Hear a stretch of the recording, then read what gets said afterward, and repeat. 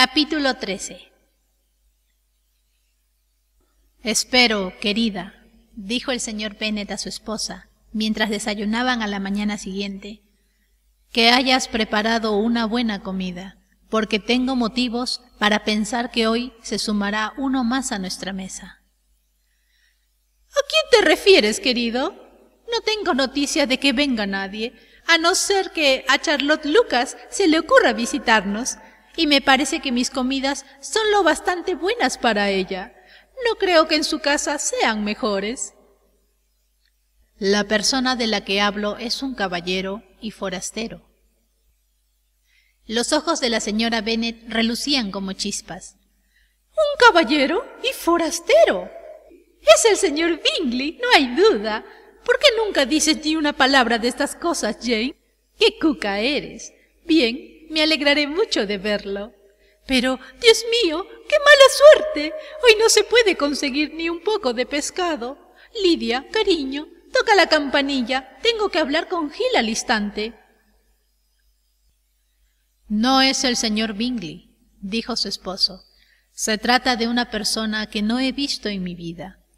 Estas palabras despertaron el asombro general, y él tuvo el placer de ser interrogado ansiosamente por su mujer y sus cinco hijas a la vez. Después de divertirse un rato, excitando su curiosidad, les explicó. Hace un mes recibí esta carta y la contesté hace unos quince días porque pensé que se trataba de un tema muy delicado y necesitaba tiempo para reflexionar. Es de mi primo, el señor Collins, el que, cuando yo me muera, puede echaros de esta casa en cuanto le apetezca. Oh, querido, se lamentó su esposa, no puedo soportar oír hablar del tema. No menciones a ese hombre tan odioso. Es lo peor que te puede pasar en el mundo, que tus bienes no los puedan heredar tus hijas. De haber sido tú, hace mucho tiempo que yo habría hecho algo al respecto. Jane y Elizabeth intentaron explicarle por qué no les pertenecía la herencia.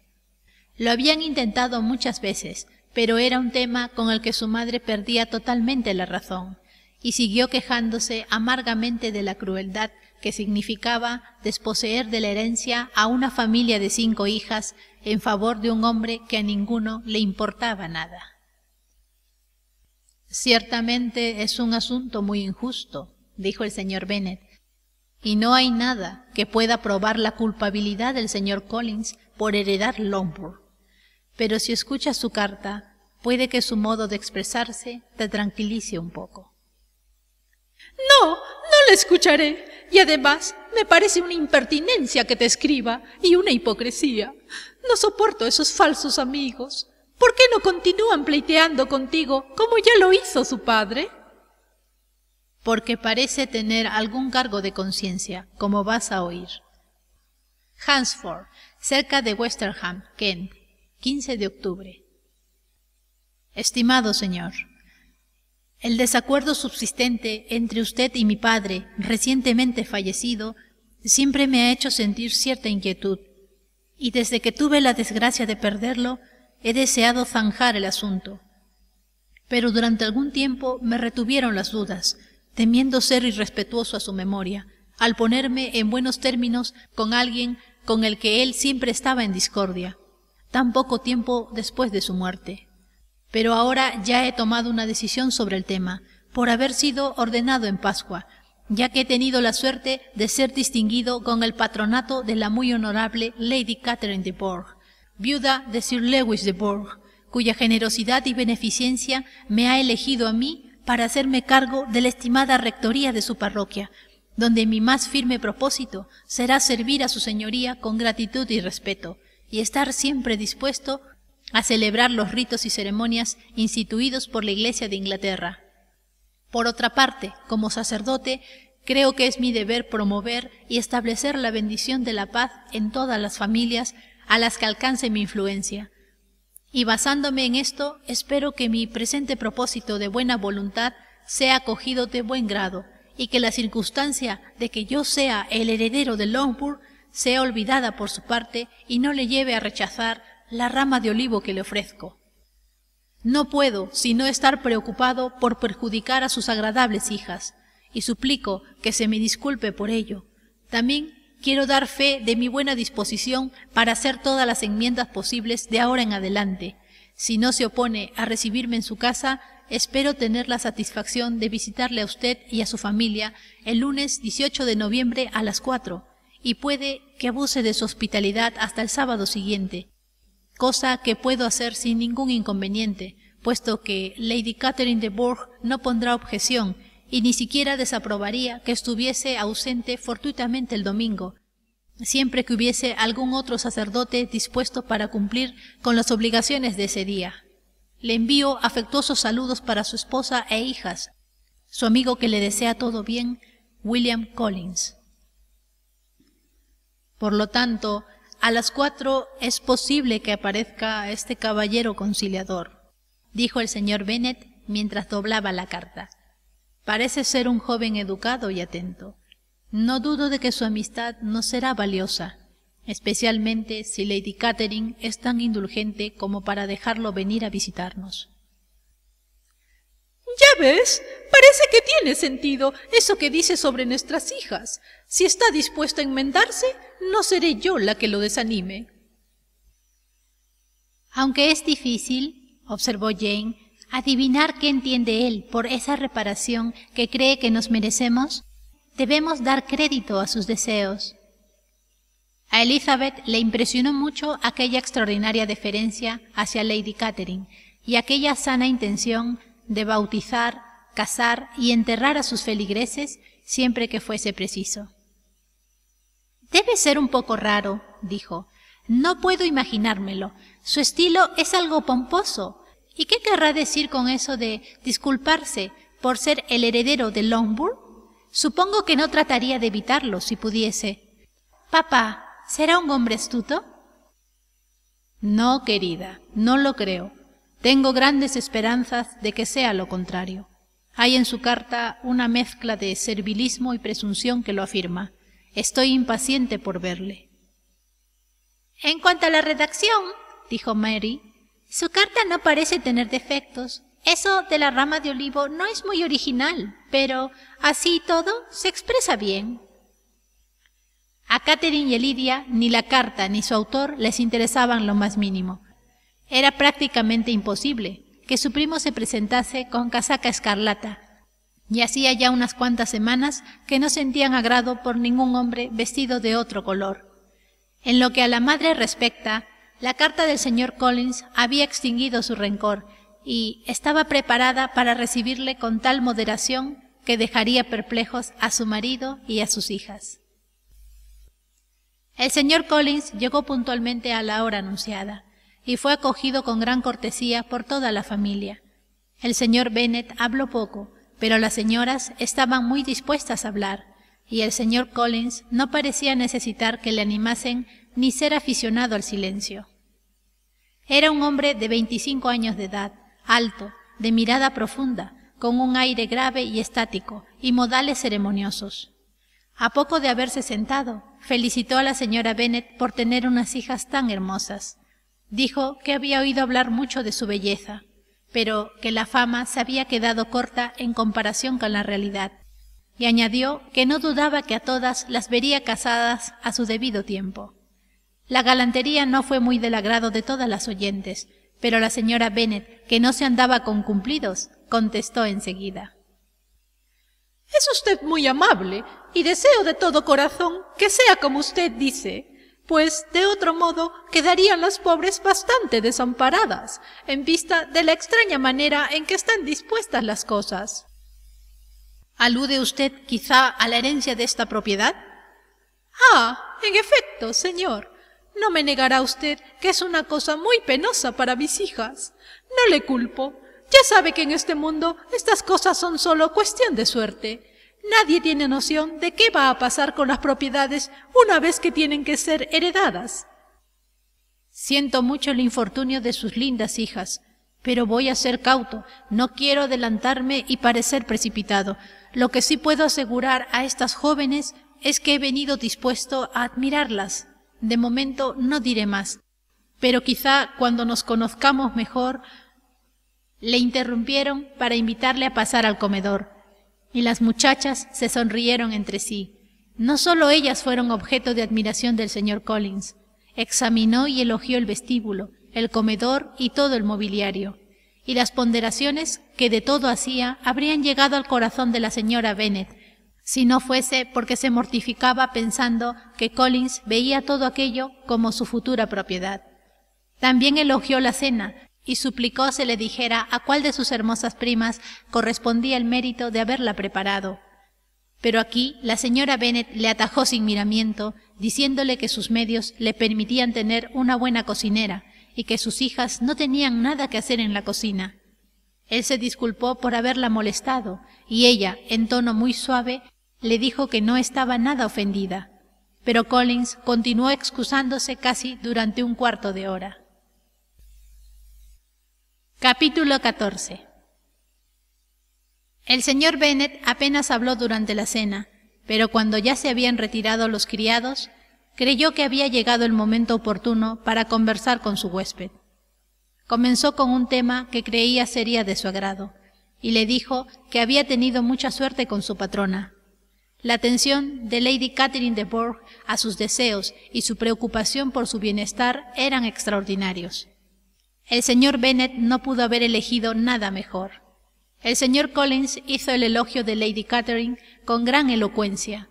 El tema elevó la solemnidad usual de sus maneras, y dándose mucha importancia, afirmó que nunca había visto un comportamiento como el suyo en una persona de su alcurnia, ni tal afabilidad y condescendencia. Se había dignado dar su aprobación a los dos sermones que ya había tenido el honor de pronunciar en su presencia, le había invitado a comer dos veces en Rosings, y el mismo sábado anterior mandó a buscarle para que completase su partida de cuatrillo durante la velada. Conocía a muchas personas que tenían a Lady Catherine por orgullosa, pero él no había visto nunca en ella más que afabilidad. Siempre le habló como lo haría cualquier otro caballero. No se oponía a que frecuentase a las personas de la vecindad, ni a que abandonase por una o dos semanas la parroquia, a fin de ir a ver a sus parientes. Siempre tuvo a bien recomendarle que se casara cuanto antes, con tal de que eligiese con prudencia, y le había ido a visitar a su humilde casa, donde aprobó todos los cambios que él había hecho, llegando hasta sugerirle alguno ella misma, como, por ejemplo, poner algunas repisas en los armarios de las habitaciones de arriba. Todo eso está muy bien y es muy cortés por su parte, comentó la señora Bennet. Debe ser una mujer muy agradable. Es una pena que las grandes damas en general no se parezcan mucho a ella. ¿Vive cerca de usted? Rosings Park, residencia de su señoría, está solo separado por un camino de la finca en la que está ubicada mi humilde casa. Creo que usted dijo que era viuda. ¿Tiene familia?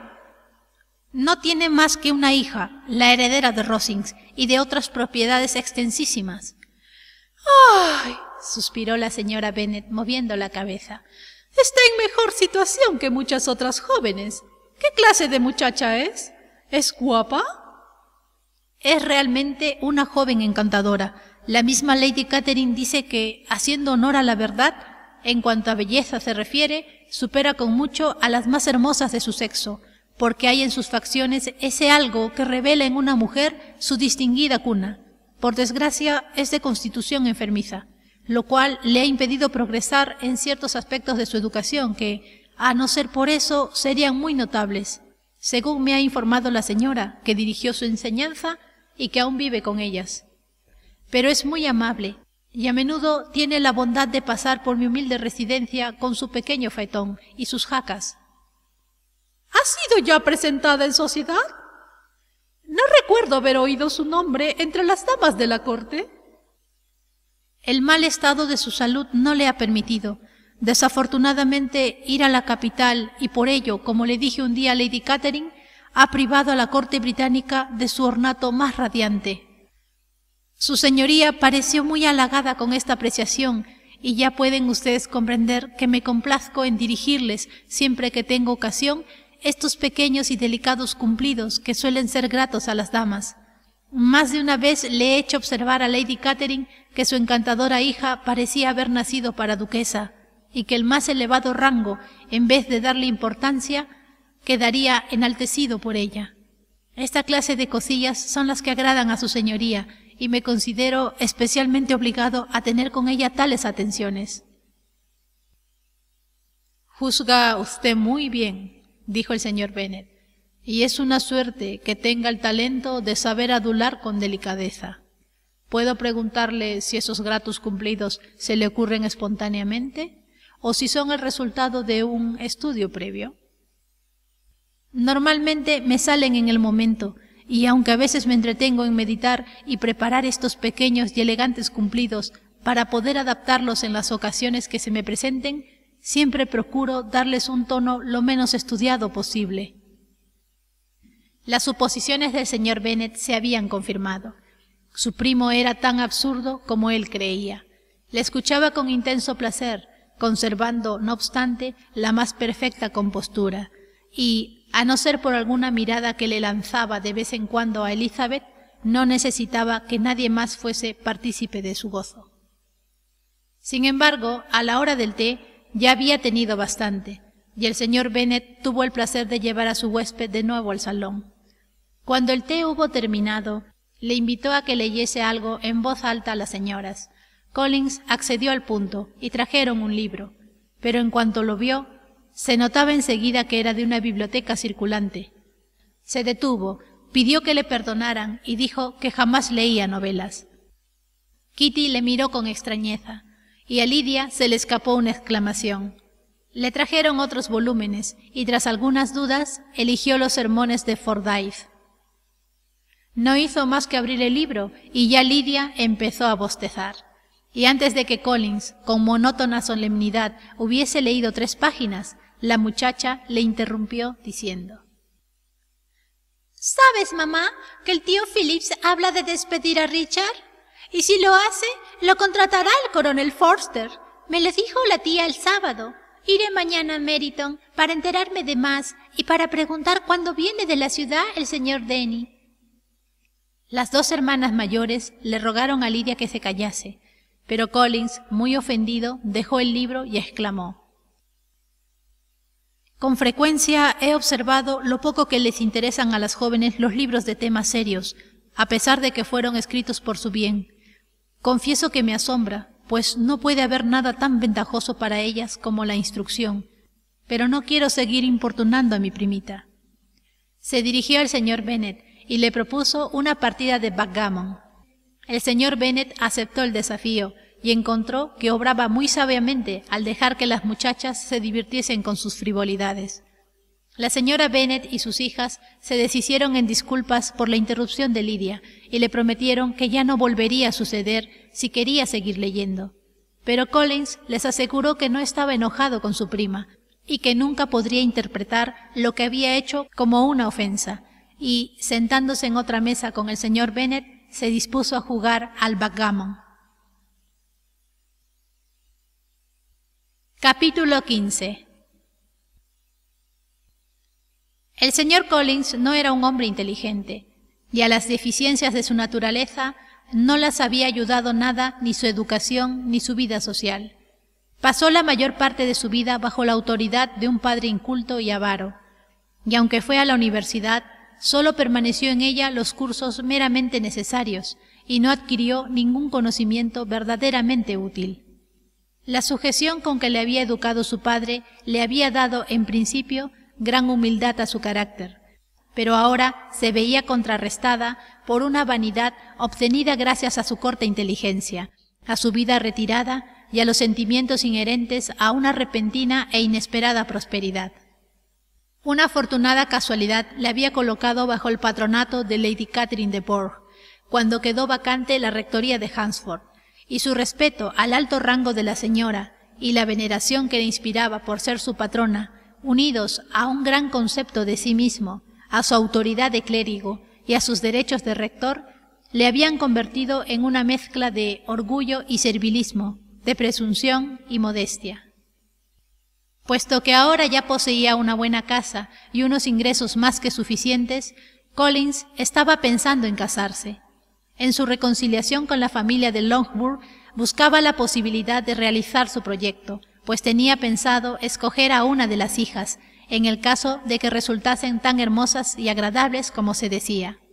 Este era su plan de enmienda o reparación por heredar las propiedades del padre, plan que le parecía excelente, ya que era legítimo, muy apropiado, a la par que muy generoso y desinteresado por su parte. Su plan no varió en nada al verlas. El rostro encantador de Jane le confirmó sus propósitos y corroboró todas sus estrictas nociones sobre la preferencia que debe darse a las hijas mayores, y así, durante la primera velada, se decidió definitivamente por ella. Sin embargo, a la mañana siguiente tuvo que hacer una alteración, pues antes del desayuno mantuvo una conversación de un cuarto de hora con la señora Bennet. Empezaron hablando de su casa parroquial, lo que le llevó naturalmente a confesar sus esperanzas de que pudiera encontrar en Longwood a la que había de ser señora de la misma. Entre complacientes sonrisas y generales estímulos, la señora Bennet le hizo una advertencia sobre Jane. En cuanto a las hijas menores, no era ella quien debía argumentarlo, no podía contestar positivamente, aunque no sabía que nadie les hubiese hecho proposiciones, pero en lo referente a Jane debía prevenirle, aunque, al fin y al cabo, era cosa que solo a ella le incumbía, de que posiblemente no tardaría en comprometerse.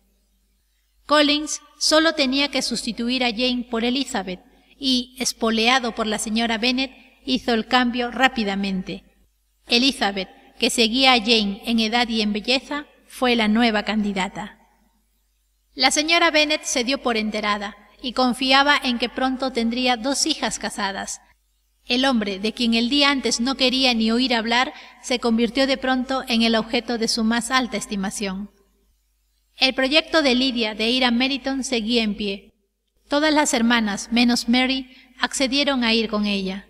El señor Collins iba a acompañarlas a petición del señor Bennet, que tenía ganas de deshacerse de su pariente y tener la biblioteca solo para él, pues allí le había seguido el señor Collins después del desayuno, y allí continuaría, aparentemente ocupado con uno de los mayores folios de la colección, aunque en realidad hablando sin cesar al señor Bennet de su casa y de su jardín de Hansford. Tales cosas le descomponían enormemente. La biblioteca era para él el sitio donde sabía que podía disfrutar de su tiempo libre con tranquilidad. Estaba dispuesto, como le dijo Elizabeth, a soportar la estupidez y el engreimiento en cualquier otra habitación de la casa, pero en la biblioteca quería verse libre de todo eso. Así es que empleó toda su cortesía en invitar a Collins a acompañar a sus hijas en su paseo, y Collins, a quien se le daba mucho mejor pasear que leer, vio el cielo abierto, cerró el libro y se fue.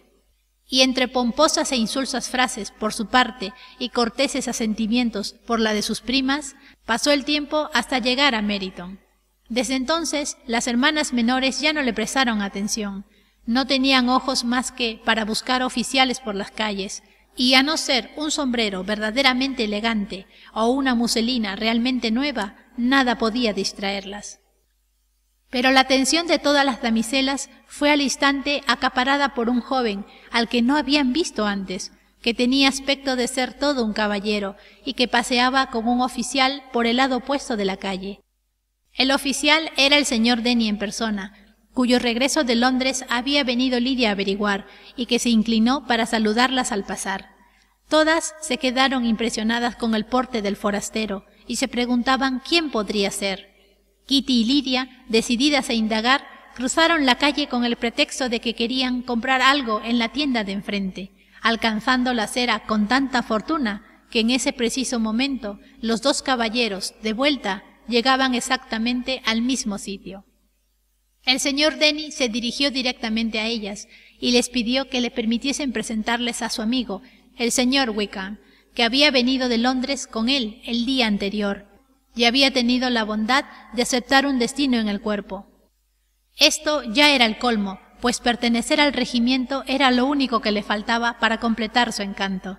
Su aspecto decía mucho en su favor, era guapo y esbelto, de trato muy afable. Hecha la presentación, el señor Wickham inició una conversación con mucha soltura, con la más absoluta corrección y sin pretensiones. Aún estaban todos allí de pie, charlando agradablemente, cuando un ruido de caballos atrajo su atención, y vieron a Darcy y a Bingley que, en sus cabalgaduras, venían calle abajo. Al distinguir a las jóvenes en el grupo, los dos caballeros fueron hacia ellas y empezaron los saludos de rigor. Bingley habló más que nadie, y Jane era el objeto principal de su conversación. En ese momento dijo iban de camino a Longpur para saber cómo se encontraba. Darcy lo corroboró con una inclinación y estaba procurando no fijar su mirada en Elizabeth, cuando, de repente, se quedaron paralizados al ver al forastero. A Elizabeth, que vio el semblante de ambos al mirarse, le sorprendió mucho el efecto que les había causado el encuentro. Los dos cambiaron de calor. Uno se puso pálido y el otro colorado. Después de una pequeña vacilación, Wickham se llevó la mano al sombrero, a cuyo saludo se dignó corresponder Darcy. ¿Qué podría significar aquello? Era imposible imaginarlo, pero era también imposible no sentir una gran curiosidad por saberlo. Un momento después, Bingley, que pareció no haberse enterado de lo ocurrido, se despidió y siguió delante con su amigo. Denny y Wickham continuaron paseando con las muchachas hasta llegar a la puerta de la casa del señor Phillips, donde hicieron las correspondientes reverencias y se fueron a pesar de los insistentes ruegos de Lidia para que entrasen y a pesar también de que la señora Phillips abrió la ventana del vestíbulo y se asomó para secundar a voces la invitación. La señora Phillips siempre se alegraba de ver a sus sobrinas. Las dos mayores fueron especialmente bien recibidas debido a su reciente ausencia. Les expresó su sorpresa por el rápido regreso a casa, del que nada habría sabido, puesto que no volvieron en su propio coche, a no haberse dado la casualidad de encontrarse con el mancebo del doctor Jones, quien le dijo que ya no tenía que mandar más medicinas a Netherfield, porque las señoritas Bennet se habían ido. Entonces Jane le presentó al señor Collins, a quien dedicó toda su atención. Le acogió con la más exquisita cortesía, a la que Collins correspondió con más finura aún, disculpándose por haber presentado en su casa sin que ella hubiese sido advertida previamente, aunque él se sentía orgulloso de que fuese el parentesco con sus sobrinas, lo que justificaba dicha intromisión. La señora Phillips se quedó totalmente abrumada con tal exceso de buena educación, pero pronto tuvo que dejar de lado a este forastero por las exclamaciones y preguntas relativas al otro. La señora Phillips no podía decir a sus sobrinas más de lo que ya sabían, que el señor Denny lo había traído de Londres y que se iba a quedar en la guarnición del condado con el grado de teniente. Agregó que lo había estado observando mientras paseaba por la calle, y si el señor Wickham hubiese aparecido entonces, también Kitty y Lydia se habrían acercado a la ventana para contemplarlo. Pero por desgracia, en aquellos momentos no pasaban más que unos cuantos oficiales que, comparados con el forastero, resultaban unos sujetos estúpidos y desagradables. Algunos de estos oficiales iban a cenar al día siguiente con los Phillips, y la tía les prometió que le diría a su marido que visitase a Wickham para que lo invitase también a él, si la familia de Longbourn quería venir por la noche. Así lo acordaron, y la señora Phillips les ofreció jugar a la lotería y tomar después una cena caliente. La perspectiva de semejantes delicias era magnífica, y las chicas se fueron muy contentas. Collins volvió a pedir disculpas al salir, y se le aseguró que no eran necesarias. De camino a casa, Elizabeth le contó a Jane lo sucedido entre los dos caballeros, y aunque Jane los habría defendido de haber notado algo raro, en este caso, al igual que su hermana, no podía explicarse tal comportamiento. Collins halagó a la señora Bennet ponderándole los modales y la educación de la señora Phillips. Aseguró que, aparte de Lady Catherine y su hija, nunca había visto una mujer más elegante, pues no sólo le recibió con la más extremada cortesía, sino que además le incluyó en la invitación para la próxima velada, a pesar de serle totalmente desconocido. Claro que ya sabía que debía atribuirlo a su parentesco con ellos, pero no obstante en su vida había sido tratado con tanta amabilidad. Capítulo 16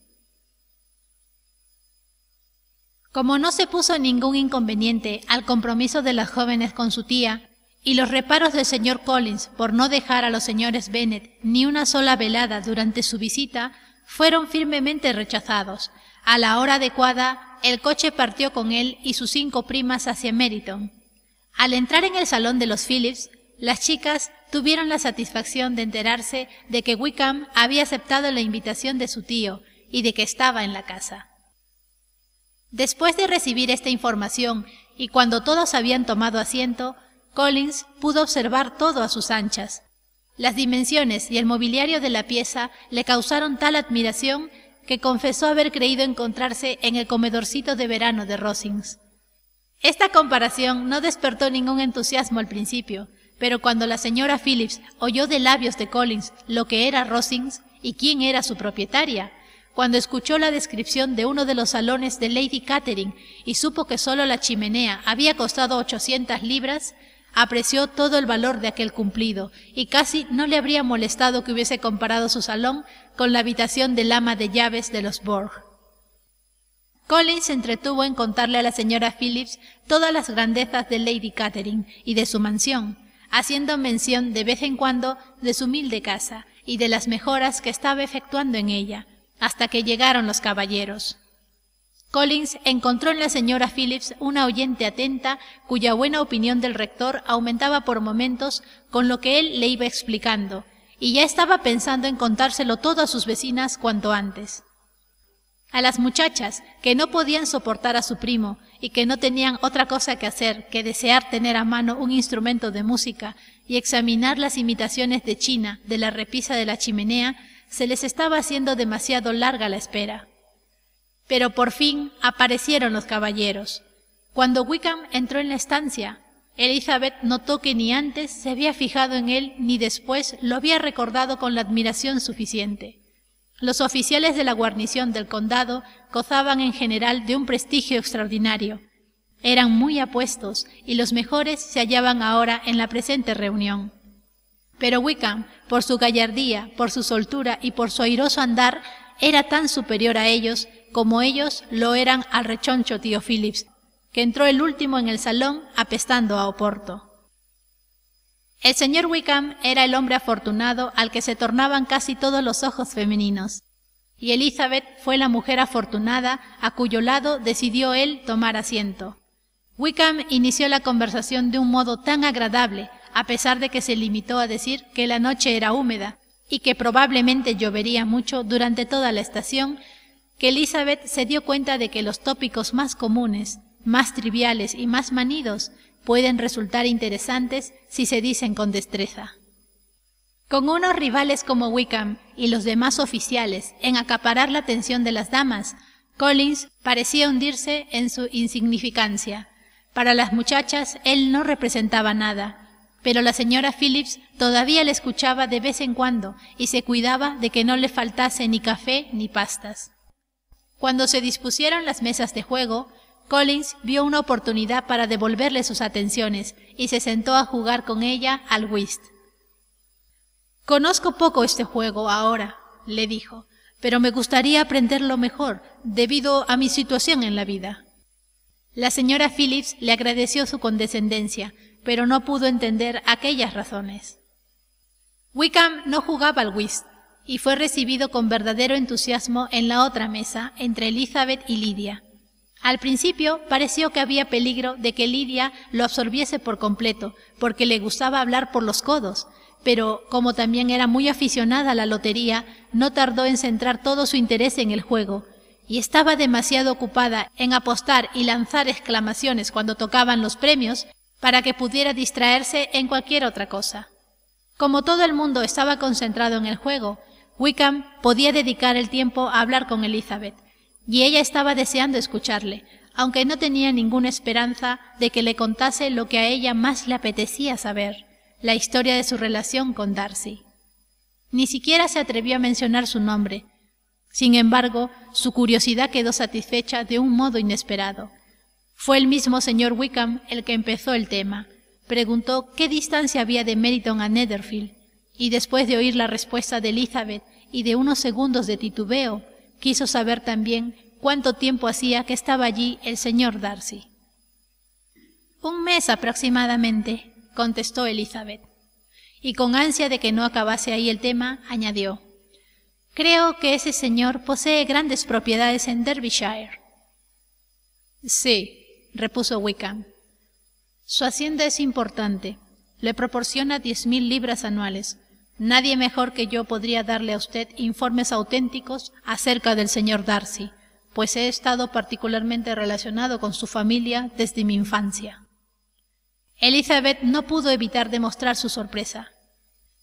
Le extrañará lo que digo, señorita Bennet, después de haber visto, como vio usted probablemente, la frialdad de nuestro encuentro de ayer. ¿Conoce usted mucho al señor Darcy? Más de lo que desearía, contestó Elizabeth afectuosamente. He pasado cuatro días en la misma casa que él y me parece muy antipático. Yo no tengo derecho a decir si es o no es antipático, continuó el señor Wickham. No soy el más indicado para ello. Le he conocido durante demasiado tiempo y demasiado bien para ser un juez justo. Me sería imposible ser imparcial, pero creo que la opinión que tiene de él sorprendería a cualquiera, y puede que no la expresaría tan categóricamente en ninguna otra parte.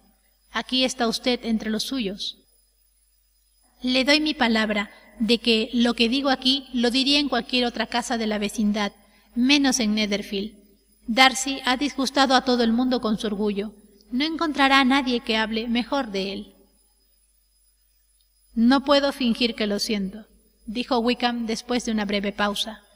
No siento que él ni nadie sean estimados solo por sus méritos, pero con Darcy no suele suceder así.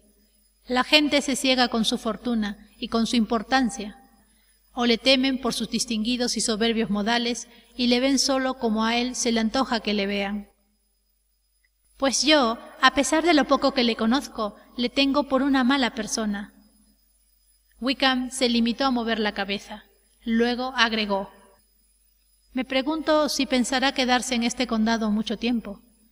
No tengo ni idea, pero no oí nada de que se marchase mientras estuvo en Netherfield. Espero que la presencia de Darcy no alterara sus planes de permanecer en la guarnición del condado. Claro que no. No seré el que me vaya por culpa del señor Darcy, y siempre me entristece verle, pero no tengo más que una razón para esquivarle, y puedo proclamarla delante de todo el mundo, un doloroso pesar por su maltrato y por ser como es. Su padre, señorita Bennet, el último señor Darcy, fue el mejor de los hombres y mi mejor amigo. No puedo hablar con Darcy sin que se me parte el alma con mil tiernos recuerdos. Su conducta conmigo ha sido indecorosa, pero confieso sinceramente que se lo perdonaría todo, menos que haya frustrado las esperanzas de su padre y haya deshonrado su memoria. Elizabeth encontraba que el interés iba en aumento y escuchaba con sus cinco sentidos, pero la índole delicada del asunto le impidió hacer más preguntas. Wickham empezó a hablar de temas más generales, Meriton, la vecindad, la sociedad, y parecía sumamente complacido con lo que ya conocía, hablando especialmente de lo último con gentil pero comprensible galantería.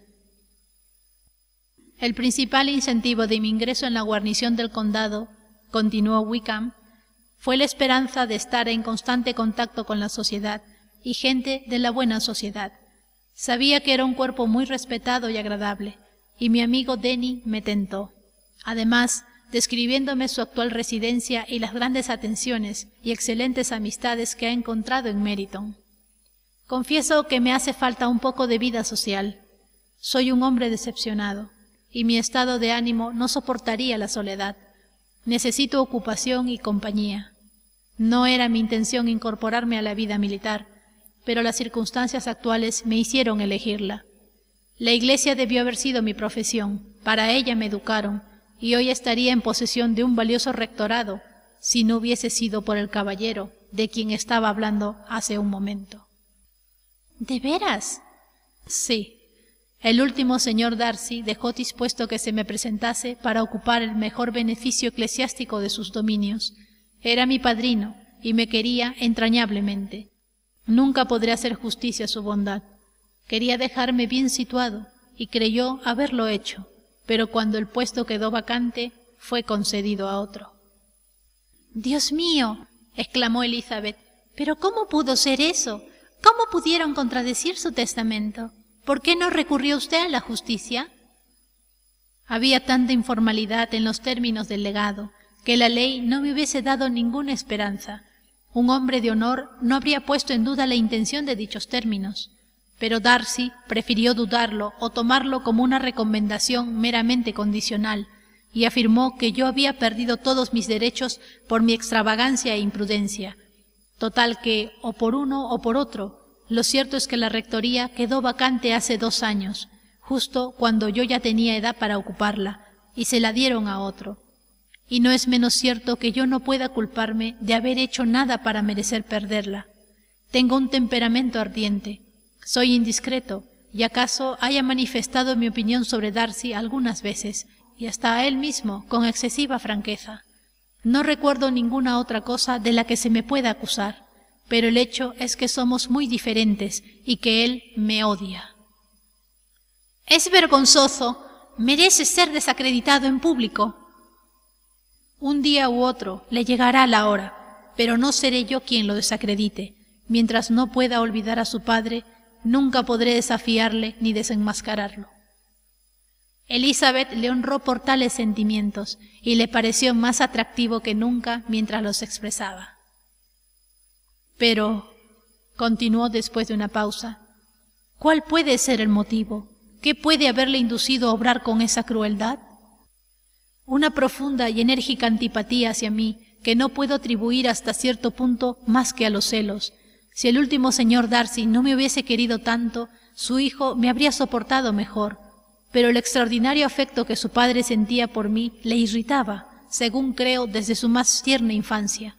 No tenía carácter para resistir aquella especie de rivalidad en que nos hallábamos, ni la preferencia que a menudo me otorgaba su padre. Recuerdo que un día en Netherfield se jactaba de lo implacable de sus sentimientos y de tener un carácter que no perdona. Su modo de ser es espantoso. No debo hablar de este tema, repuso Wickham. Me resulta difícil ser justo con él. Elizabeth reflexionó de nuevo y al cabo de unos momentos exclamó Tratar de esa manera al ahijado, al amigo, al favorito de su padre.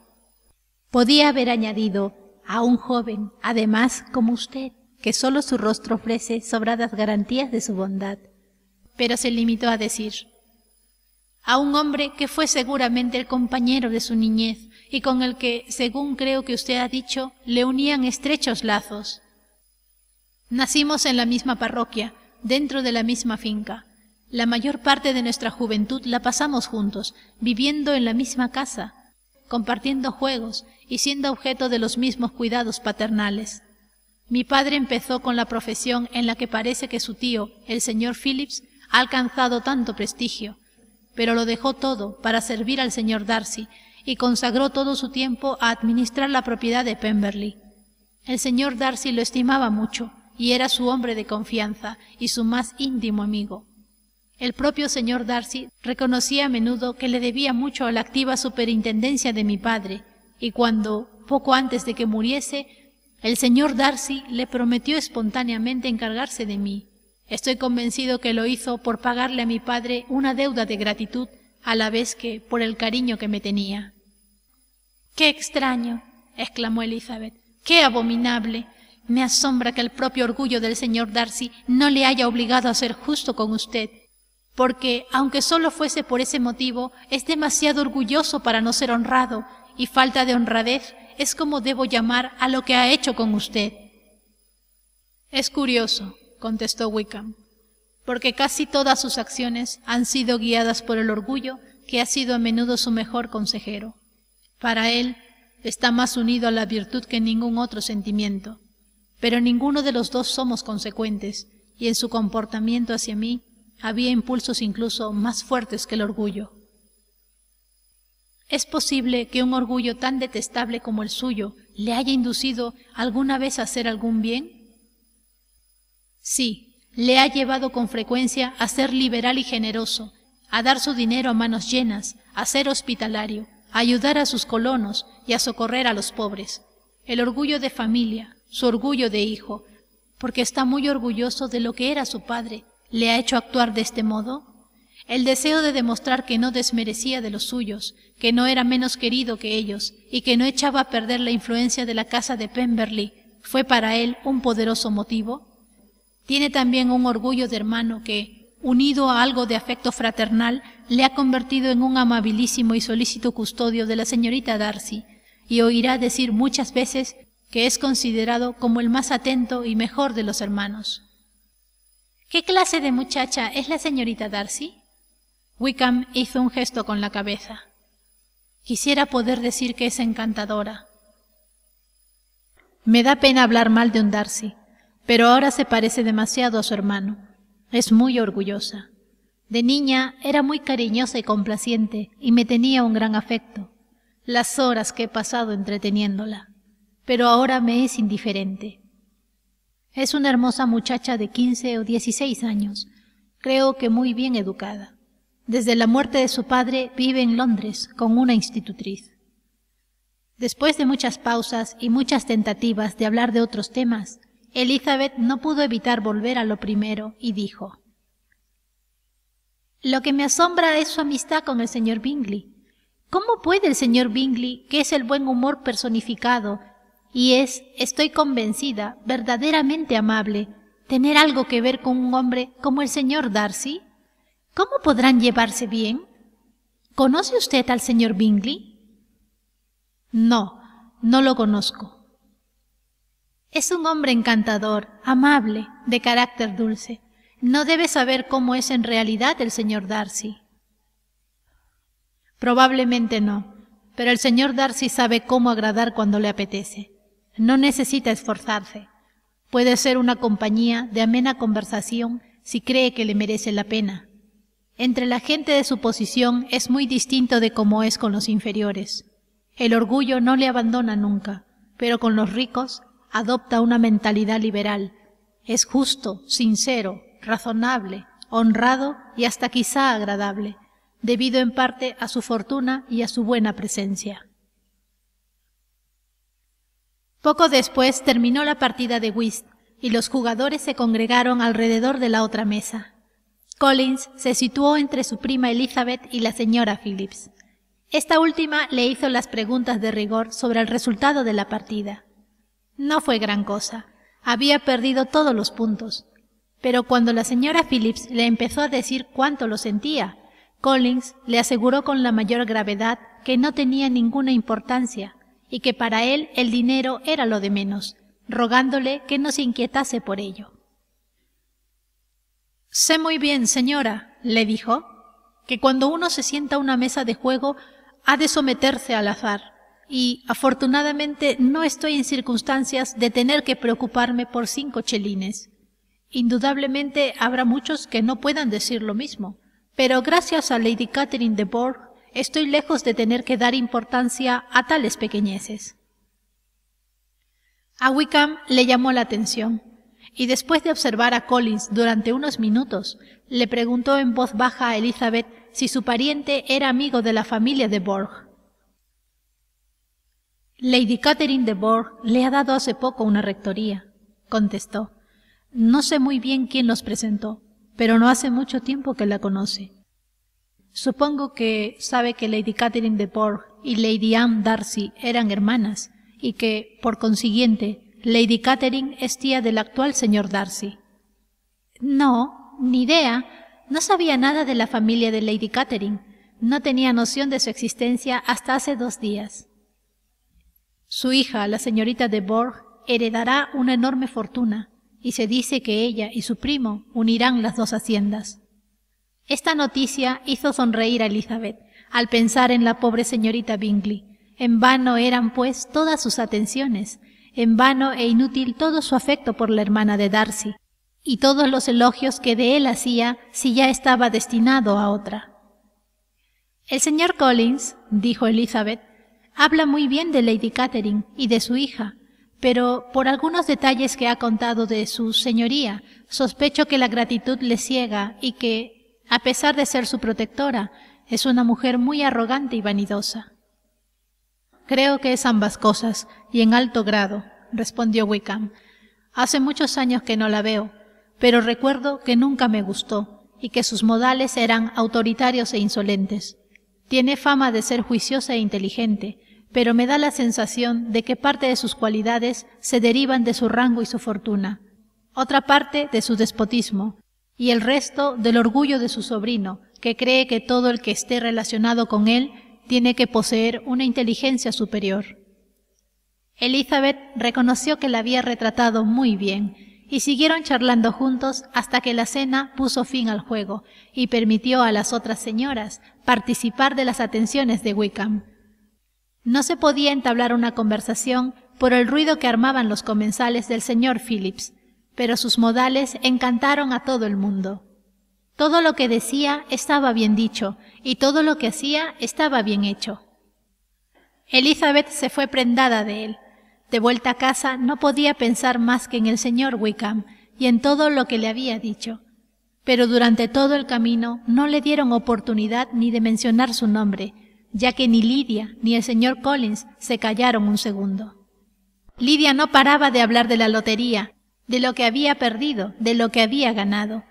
Y Collins, con elogiar la hospitalidad de los Phillips, asegurar que no le habían importado nada sus pérdidas en el twist, enumerar todos los platos de la cena y repetir constantemente que temía que por su culpa sus primas fuesen apretadas, Tuvo más que decir de lo que habría podido antes de que el carruaje parase delante de la casa de Longbourn. Capítulo 17 Al día siguiente, Elizabeth le contó a Jane todo lo que habían hablado Wickham y ella. Jane escuchó con asombro e interés. No podía creer que Darcy fuese tan indigno de la estimación de Bingley, y, no obstante, no se atrevía a dudar de la veracidad de un hombre de apariencia tan afable como Wickham. La mera posibilidad de que hubiese sufrido semejante crueldad era suficiente para avivar sus más tiernos sentimientos, de modo que no tenía más remedio que no pensar mal ni del uno ni del otro, defender la conducta de ambos y atribuir a la casualidad o al error lo que de otro modo no podía explicarse. Tengo la impresión, decía, de que ambos han sido defraudados. Son personas de algún modo decepcionadas por algo que nosotras no podemos adivinar. Quizá haya sido gente interesada en tergiversar las cosas la que los enfrentó. En fin, no podemos conjeturar las causas o las circunstancias que los han separado sin que ni uno ni otro sean culpables. Tienes mucha razón, y dime, mi querida Jane, ¿Qué tienes que decir en favor de esa gente interesada que probablemente tuvo que ver en el asunto? Defiéndelos también, si no nos veremos obligadas a hablar mal de alguien. Ríete de mí todo lo que quieras, pero no me harás cambiar de opinión. Querida Lizzie, ten en cuenta en qué lugar tan deshonroso sitúa al señor Darcy. Tratar así al favorito de su padre, a alguien al que él había prometido darle un porvenir, es imposible. Nadie medianamente bueno que aprecie algo el valor de su conducta es capaz de hacerlo. ¿Es posible que sus amigos más íntimos estén tan engañados respecto a él? Oh, no. Creo que es más fácil que la amistad del señor Bingley sea impuesta que el señor Wickham haya inventado semejante historia con nombres, hechos y que la cuente con tanta naturalidad. Y si no es así, que sea el señor Darcy el que lo niegue, Además, había sinceridad en sus ojos. Es realmente difícil, es lamentable. Uno no sabe qué pensar. Perdona, uno sabe exactamente qué pensar. Las dos jóvenes charlaban en el jardín cuando fueron a avisarles de la llegada de algunas de las personas de las que estaban justamente hablando. El señor Bingley y sus hermanas venían para invitarlos personalmente al tan esperado baile de Netherfield, que había sido fijado para el martes siguiente. Las Bingley se alegraron mucho de ver a su querida amiga. Les parecía que había pasado un siglo desde que habían estado juntas y continuamente le preguntaban qué había sido de ella desde su separación. Al resto de la familia les prestaron poca atención. A la señora Bennet la evitaron todo lo que les fue posible. Con Elizabeth hablaron muy poco, y a las demás ni siquiera les dirigieron la palabra. Se fueron enseguida, levantándose de sus asientos con una rapidez que dejó pasmado a su hermano. Salieron con tanta prisa que parecían estar impacientes por escapar de las atenciones de la señora Bennet. La perspectiva del baile de Netherfield resultaba extraordinariamente apetecible a todos los miembros femeninos de la familia. La señora Bennet lo tomó como un cumplido dedicado a su hija mayor y se sentía particularmente halagada por haber recibido la invitación del señor Bingley en persona y no a través de una ceremoniosa tarjeta. Jane se imaginaba una feliz velada en compañía de sus dos amigas y con las atenciones del hermano, y Elizabeth pensaba con deleite en bailar todo el tiempo con el señor Wickham y en ver confirmada toda la historia en las miradas y el comportamiento del señor Darcy. La felicidad que Catherine y Lydia anticipaban dependía menos de un simple hecho o de una persona en particular, porque, aunque las dos, como Elizabeth, pensaban bailar la mitad de la noche con Wickham, no era ni mucho menos la única pareja que podía satisfacerlas. Y, al fin y al cabo, un baile era un baile. Incluso Mary llegó a asegurar a su familia que tampoco a ella le disgustaba la idea de ir. Mientras pueda tener las mañanas para mí, dijo, me basta. No me supone ningún sacrificio aceptar ocasionalmente compromisos para la noche. Todos nos debemos a la sociedad, y confieso que soy de los que consideran que los intervalos de recreo y esparcimiento son recomendables para todo el mundo.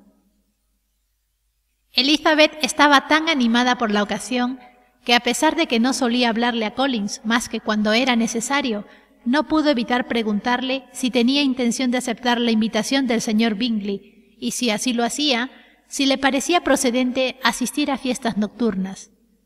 Elizabeth se quedó sorprendida cuando le contestó que no tenía ningún reparo al respecto y que no temía que el arzobispo ni Lady Catherine de Bourgh le censurasen por aventurarse al baile. Le aseguro que en absoluto creo, dijo, que un baile como este, organizado por hombre de categoría para gente respetable, pueda tener algo de malo. No tengo ningún inconveniente en bailar y espero tener el honor de hacerlo con todas mis bellas primas. Aprovecho ahora esta oportunidad para pedirle precisamente a usted, señorita Elizabeth, los dos primeros bailes, preferencia que confío que mi prima Jane sepa atribuir a la causa de vida y no a un desprecio hacia ella. Elizabeth se quedó totalmente desilusionada. Ella, que se había propuesto dedicar esos dos bailes tan especiales al señor Wickham, y ahora tenía que bailarlos con el señor Collins. Había elegido mal momento para ponerse tan contenta. En fin, ¿qué podía hacer? No le quedaba más remedio que dejar su dicha y la de Wickham para un poco más tarde y aceptar la propuesta de Collins con el mejor ánimo posible. No le hizo ninguna gracia su galantería, porque detrás de ella se escondía algo más. Por primera vez se le ocurrió pensar que era ella la elegida entre todas las hermanas para ser la señora de la casa parroquial de Hansford y para asistir a las partidas de cuatrillo de Rosings en ausencia de visitantes más selectos. Esta idea no tardó en convertirse en convicción cuando observó las crecientes atenciones de Collins para con ella y oyó sus frecuentes tentativas de elogiar su ingenio y vivacidad. Aunque a ella el efecto que causaban sus encantos en este caso, más que complacerla, la dejaba atónita. Su madre pronto le dio a entender que la posibilidad de aquel matrimonio le agradaba en exceso. Sin embargo, Elizabeth prefirió no darse por aludida, porque estaba segura de que cualquier réplica tendría como consecuencia una seria discusión. Probablemente el señor Collins nunca le haría semejante proposición, y hasta que lo hiciese era una pérdida de tiempo discutir por él. Si no hubiesen tenido que hacer los preparativos para el baile de Netherfield, las Bennet menores habrían llegado a un estado digno de compasión, ya que desde el día de la invitación hasta el del baile, la lluvia no cesó un momento, impidiéndoles ir ni una sola vez a Meriton. Ni tía, ni oficiales, ni chismes que contar. Incluso los centros de rosas para el baile de Netherfield tuvieron que hacerse por encargo, la misma Elizabeth vio su paciencia puesta a prueba con aquel mal tiempo que suspendió totalmente los progresos de su amistad con Wickham. Solo el baile del martes pudo ser soportable a Catherine y a Lidia un viernes, sábado, domingo y lunes como aquellos. Capítulo 18 Hasta que Elizabeth entró en el salón de Netherfield y buscó en vano entre el grupo de casacas rojas allí reunidas a Wickham, no se le ocurrió pensar que podía no hallarse entre los invitados. La certeza de encontrarlo le había hecho olvidarse de lo que con razón la habría alarmado. Se había acicalado con más esmero que de costumbre y estaba preparada con el espíritu muy alto para conquistar todo lo que permaneciese indómito en su corazón, confiando que era el mejor galardón que podría conseguir en el curso de la velada.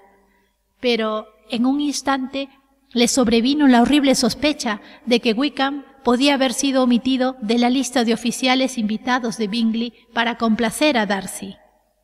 Ese no era exactamente el caso.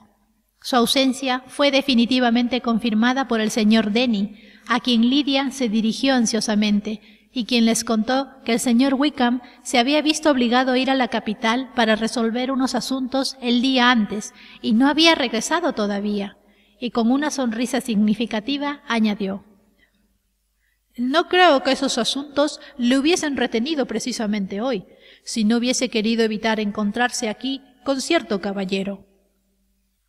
Lidia no oyó estas palabras, pero Elizabeth sí.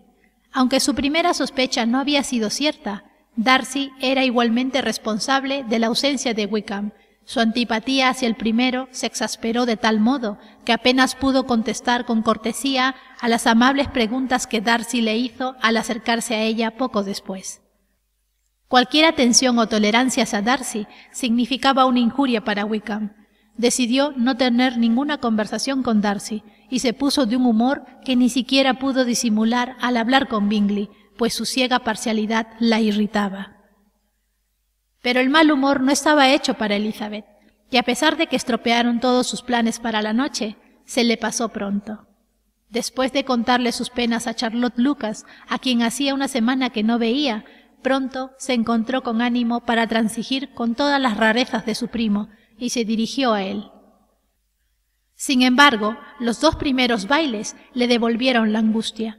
Fueron como una penitencia. El señor Collins, torpe y solemne, disculpándose en vez de atender al compás y perdiendo el paso sin darse cuenta, le daba toda la pena y la vergüenza que una pareja desagradable puede dar en un par de bailes. Librarse de él fue como alcanzar el éxtasis. Después tuvo el alivio de bailar con un oficial con el que pudo hablar del señor Wickham, enterándose de que todo el mundo le apreciaba.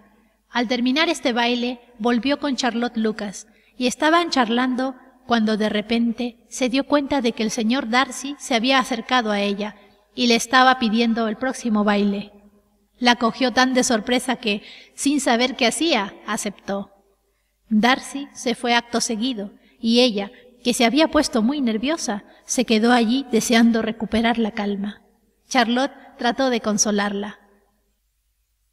A lo mejor lo encuentras encantador. No lo quiera Dios. Esa sería la mayor de todas las desgracias, encontrar encantador a un hombre que debe ser odiado. No me desees tanto mal.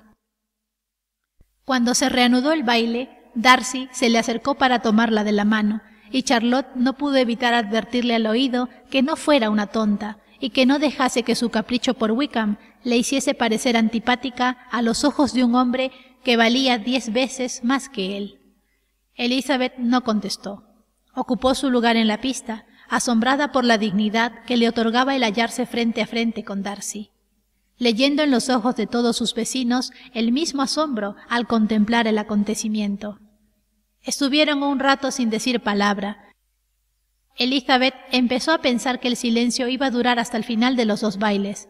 Al principio estaba decidida a no romperlo, cuando de pronto pensó que el peor castigo para su pareja sería obligarle a hablar e hizo una pequeña observación sobre el baile. Darcy contestó y volvió a quedarse callado.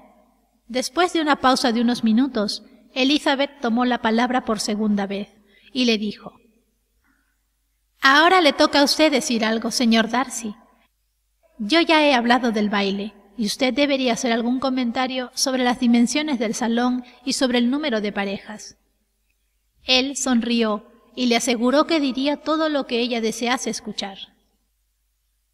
Muy bien, no está mal esa respuesta de momento. Quizá poco a poco me convenza de que los bailes privados son más agradables que los públicos, pero ahora podemos permanecer callados. ¿Acostumbra usted a hablar mientras baila? Algunas veces. Es preciso hablar un poco, ¿no cree? Sería extraño estar juntos durante media hora sin decir ni una palabra. Pero en atención de algunos hay que llevar la conversación de modo que no se vean obligados a tener que decir más de lo preciso. ¿Se refiere a usted misma o lo dice por mí? Por los dos, replicó Elizabeth con coquetería. Pues he encontrado un gran parecido en nuestra forma de ser. Los dos somos insociables, taciturnos y enemigos de hablar, a menos que esperemos decir algo que deslumbre a todos los presentes y pase a la posteridad con todo el brillo de un proverbio. Estoy seguro de que usted no es así. En cuanto a mí, no sabría decirlo. Usted sin duda cree que me ha hecho un fiel retrato. No puedo juzgar mi propia obra. Él no contestó, y parecía que ya no abrirían la boca hasta finalizar el baile, cuando él le preguntó si ella y sus hermanas iban a menudo a Meriton. Elizabeth contestó afirmativamente e, incapaz de resistir la tentación, añadió Cuando nos encontró usted el otro día, acabábamos precisamente de conocer a un nuevo amigo. El efecto fue inmediato. Una intensa sombra de arrogancia oscureció el semblante de Darcy, pero no dijo una palabra. Elizabeth, aunque reprochándose a sí misma su debilidad, prefirió no continuar. Al fin, Darcy habló y de forma obligada dijo El señor Wickham está dotado de tan gratos modales que ciertamente puede hacer amigos con facilidad. Lo que es menos cierto es que sean igualmente capaz de conservarlos. Él ha tenido la desgracia de perder su amistad, dijo Elizabeth enfáticamente, de tal forma que sufrirá por ello toda su vida. Darcy no contestó, y se notó que estaba deseoso de cambiar de tema. En ese momento, Sir William Lucas pasaba cerca de ellos al atravesar la pista de baile con la intención de ir al otro extremo del salón, y al ver al señor Darcy se detuvo y le hizo una reverencia con toda cortesía para felicitarle por su modo de bailar y por su pareja. Estoy sumamente complacido, mi estimado señor. Tan excelente modo de bailar no se ve con frecuencia. Es evidente que pertenece usted a los ambientes más distinguidos. Permítame decirle, sin embargo, que su bella pareja en nada desmerece de usted, y que espero volver a gozar de este placer, especialmente cuando cierto acontecimiento muy deseado, querida Elizabeth, mirando a Jane y a Bingley, tenga lugar. ¿Cuántas felicitaciones habrá entonces? Apelo al señor Darcy pero no quiero interrumpirle, señor. Me agradecerá que no le prive más de la cautivadora conversación de esta señorita, cuyos hermosos ojos me están también recriminando. Darcy apenas escuchó esta última parte de su discurso, pero la alusión a su amigo pareció impresionarle mucho, y con una grave expresión dirigió la mirada hacia Bingley y Jane, que bailaban juntos.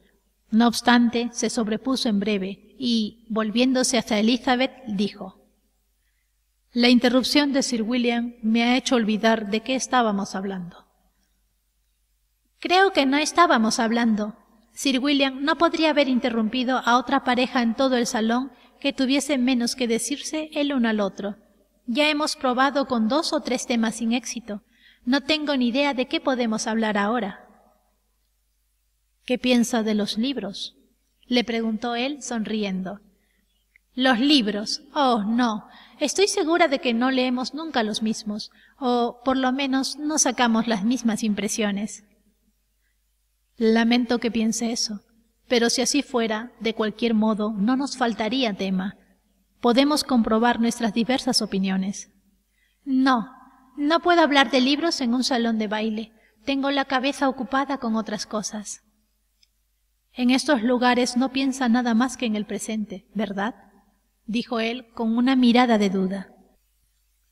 Sí, siempre, contestó ella sin saber lo que decía, pues se le había ido el pensamiento a otra parte, según demostró al exclamar repentinamente.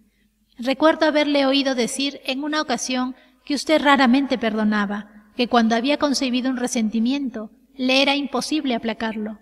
Supongo, por lo tanto, que será muy cauto en concebir resentimientos.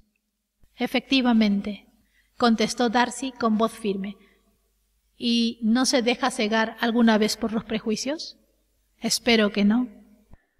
Los que no cambian nunca de opinión deben cerciorarse bien antes de juzgar. ¿Puedo preguntarle cuál es la intención de estas preguntas? Conocer su carácter, sencillamente, dijo Elizabeth tratando de encubrir su seriedad. Estoy intentando descifrarlo. ¿Y a qué conclusiones ha llegado? A ninguna, dijo meneando la cabeza. He oído cosas tan diferentes de usted que no consigo aclararme. Reconozco, contestó él con gravedad, que las opiniones acerca de mí pueden ser muy diversas, y desearía, señorita Bennet, que no esbozase mi carácter en este momento, porque tengo razones para temer que el resultado no reflejaría la verdad. Pero si no lo hago ahora, puede que no tenga otra oportunidad. De ningún modo desearía impedir cualquier satisfacción suya, repuso él fríamente.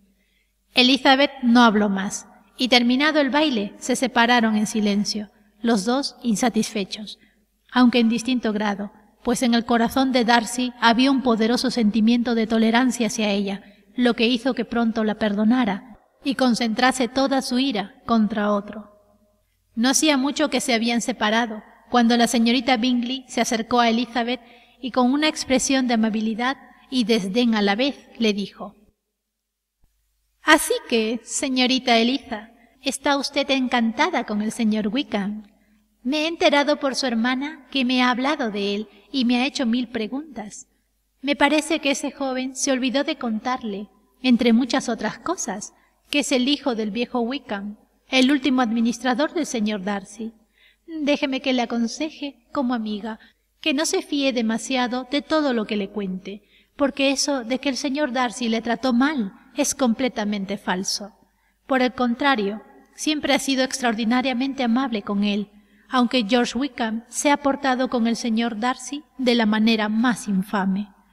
No conozco los pormenores, pero sé muy bien que el señor Darcy no es de ningún modo el culpable, que no puede soportar ni oír el nombre de George Wickham, y que, aunque mi hermano consideró que no podía evitar incluirlo en la lista de oficiales invitados, él se alegró enormemente de ver que él mismo se había apartado de su camino. El mero hecho de que haya venido aquí al campo es una verdadera insolencia, y no logro entender cómo se ha atrevido a hacerlo. La compadezco, señorita Eliza, por este descubrimiento de la culpabilidad de su favorito, pero en realidad, teniendo en cuenta su origen, no se podía esperar nada mejor. Su culpabilidad y su origen parece que son para usted una misma cosa, le dijo Elizabeth encolerizada, porque de lo peor que le he oído acusarle es de ser hijo del administrador del señor Darcy, y de eso puedo asegurárselo, ya me había informado él. Le ruego que me disculpe, replicó la señorita Bingley, dándose la vuelta con desprecio. Perdone mi entrometimiento. Fue con la mejor intención. Insolente, dijo Elizabeth para sí. Estás muy equivocada si piensas que influirás en mí con tan mezquino ataque. No veo en él más que tu terca ignorancia y la malicia de Darcy. Entonces miró a su hermana mayor que se había arriesgado a interrogar a Bingley sobre el mismo asunto.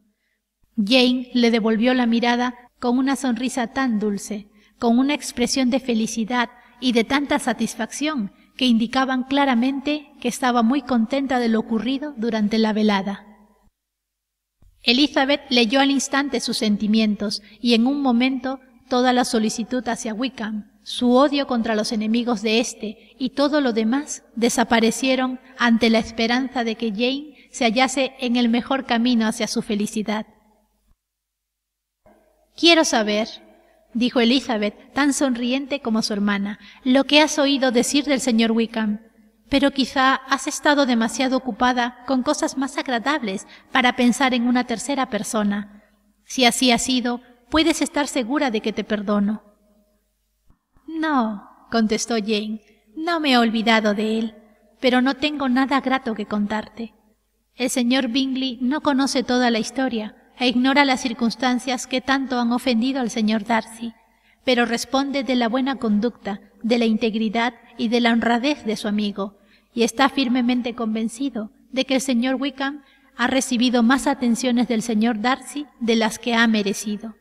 Y siento decir que, según el señor Bingley y su hermana, el señor Wickham dista mucho de ser un joven respetable.